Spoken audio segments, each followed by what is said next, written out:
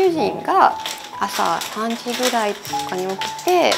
お花の仕入れの市場に出るのででまあ仕入れが終わって一旦ちょっと仮眠しに家に戻ってくるんですけど